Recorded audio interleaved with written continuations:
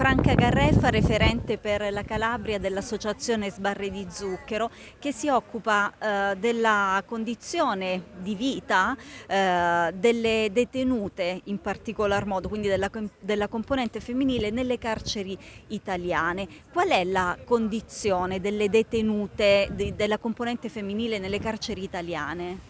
È una condizione di marginalità perché le donne rappresentano il 5% della popolazione detenuta. E allora scarsi numeri si traducono in scarsa attenzione, però non dovrebbe essere così, nel senso che questo 5% di persone ristrette sono praticamente costrette a eh, vivere un'istituzione che è stata costruita e pensata eh, per il maschile, di conseguenza rispetto alla popolazione detenuta maschile presentano una serie di vulnerabilità e di fragilità che diventano diciamo, eclatanti nella condizione di detenute madri, ma non necessariamente eh, bisogna essere madri con figli al seguito per vivere in maniera davvero drammatica il carcere.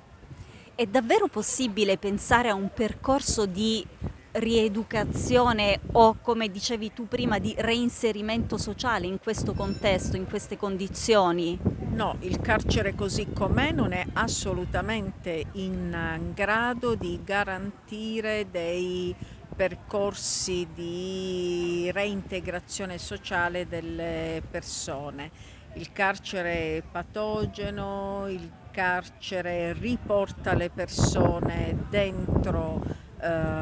scelte criminali, i tassi di recidiva sono altissimi,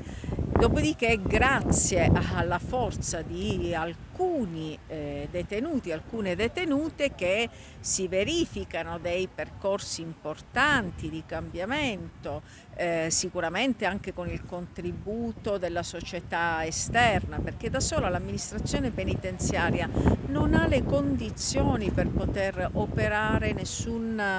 percorso di reintegrazione delle persone, non esistono le condizioni strutturali, non è garantito il lavoro, non vengono rispettati una serie di, di diritti. Raimonda Bruno, stasera moderatrice dell'incontro sulla condizione delle detenute e dei detenuti nelle carceri italiane. E secondo la tua esperienza, perché tu hai fatto un'esperienza di volontariato all'interno delle carceri, come dovrebbe essere ripensato il sistema penitenziario perché davvero la pena, che è giusto scontare, ma perché davvero la pena sia rieducativa e aiuti ad un reinserimento effettivo nella società? E io credo prima di tutto che sia necessario ripensare lo spazio del carcere perché è uno spazio di eh, esclusione mh, ed è uno spazio di reclusione quindi c'è un, mm, è uno spazio sovraffollato, psichiatrizzante ed è uno spazio che andrebbe invece eh, aperto, eh, proprio perché quel,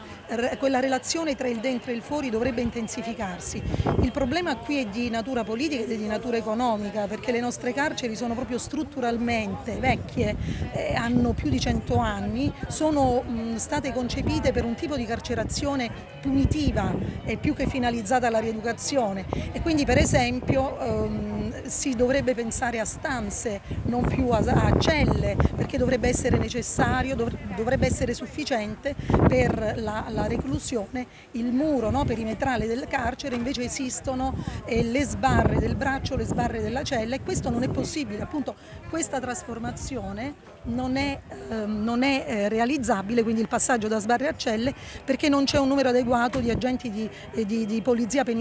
a garantire poi la stessa, la stessa, sorveglianza. Quindi io credo che sia necessario ripartire dagli spazi, eh, amplificare le possibilità, ampliare le possibilità di, um, di um, riacquisizione del sé come persona rispetto al sé detenuto e eh, logicamente io sto molto semplificando, no? eh, però io credo che sia necessario oh, ripartire da questo, proprio dal fare in modo che il fuori entri dentro e che il dentro esca di più fuori. Appunto ci sono delle, fortunatamente ci sono delle associazioni, delle fondazioni che svolgono delle attività di sostegno a favore dei, dei, detenuti proprio per far entrare il fuori dentro. Quanto è importante questo? È fondamentale, è fondamentale perché eh, lo Stato oh, ha bisogno delle associazioni e dei volontari perché da solo non ce la fa non ce la fa appunto a garantire il um, diritto ad una pena, perché di pena si parla, che però sia una pena eh, finalizzata alla rieducazione. C'è il diritto alla rieducazione della pena, ma appunto lo Stato non riesce a garantirlo, quindi eh, c'è bisogno di associazioni e di volontari proprio che diano il loro contributo in questo. E, ehm, io dico sempre che l'esperienza appunto di volontariato nelle carceri è una delle esperienze più belle che abbiamo mai vissuto, eh? quindi quando i detenuti ci dicono che eh, la loro ora d'aria vera è quella del momento dell'incontro con i volontari,